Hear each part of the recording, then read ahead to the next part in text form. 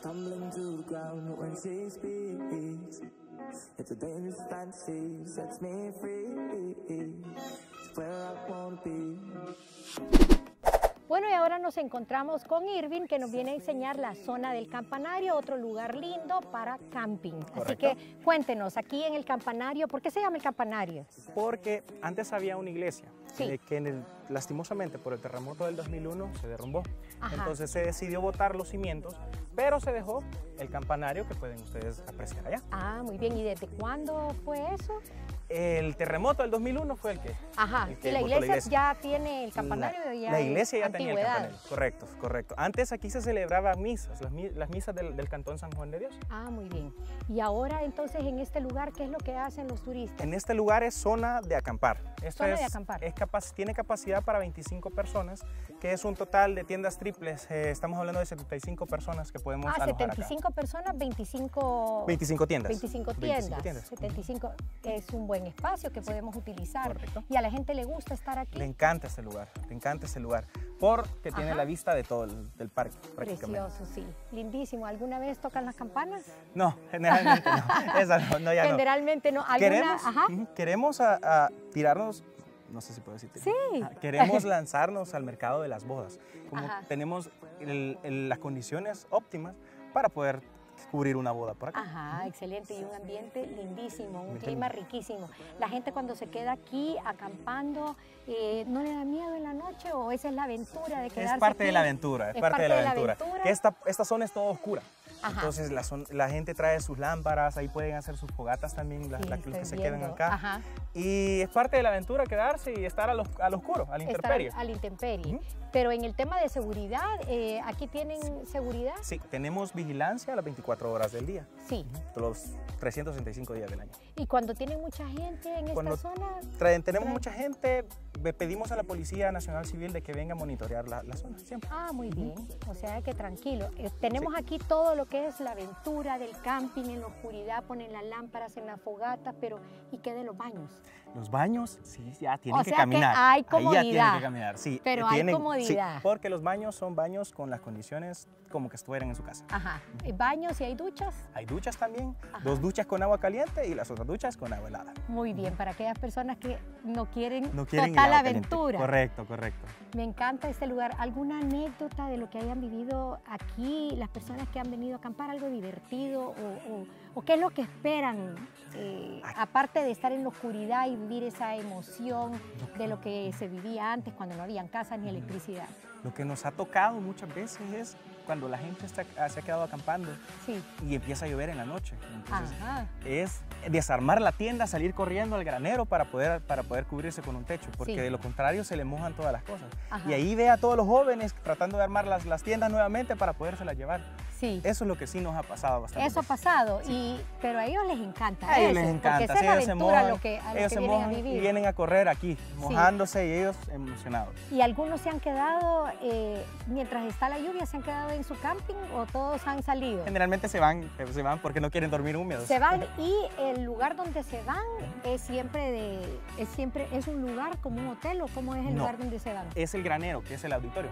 Ah, en el auditorio, auditorio, donde correcto. tiene que ya vamos a ir a conocer. Ya vamos a conocer ahí. Entonces, me encanta este lugar y vienen muchos jóvenes, vienen papás con niños.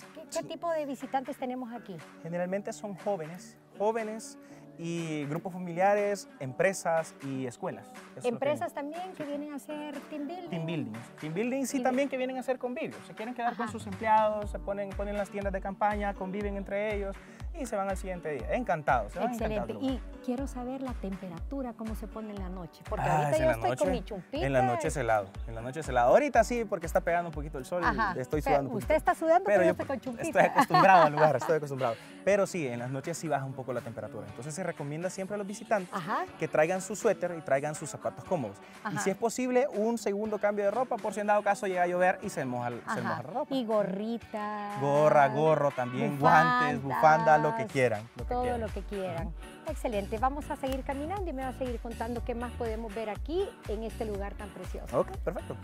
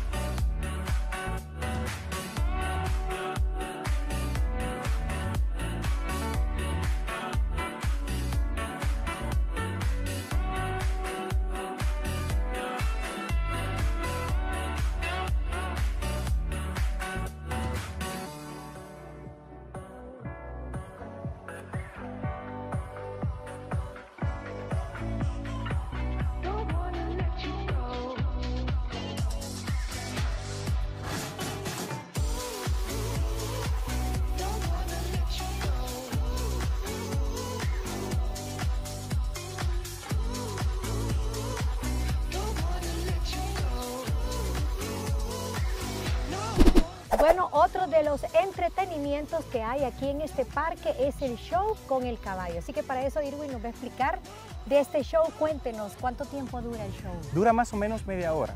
Este es un caballo de alta escuela, Ajá. es un caballo español. Eh, el, el equitador es un equitador profesional y el, el objetivo es de que el caballo baile, que el caballo Sí. pueda dar un espectáculo al público con música ranchera, que es lo característico lo también, lo tradicional. Lo ¿Y tradicional. cuánto tiempo entrena? David es el que le entrena con el emperador, el caballo, Sí, correcto, ¿Cuánto correcto. tiempo es el entrenamiento? Más o menos una hora. una- hay que estarlo entrenando durante una hora, durante una semana completa para poder llegar a, a- a adquirir las habilidades que tiene el caballo en este momento. Entrena una hora temprano y el show es por la tarde. Es por la tarde.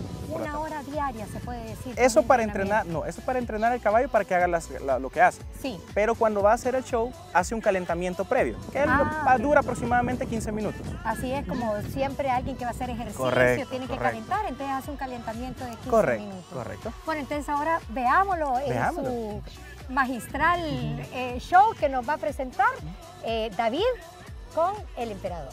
Veamos. Perfecto, veamos.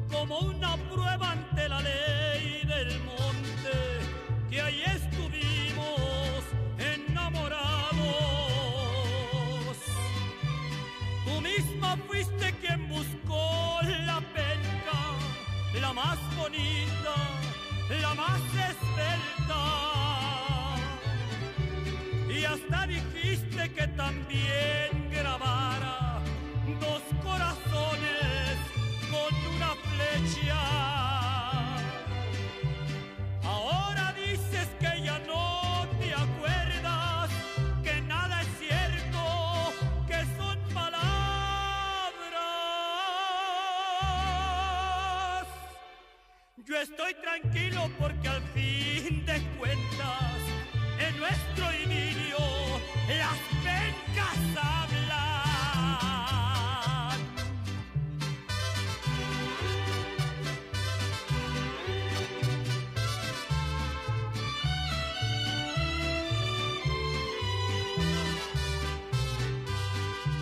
La misma noche que mi amor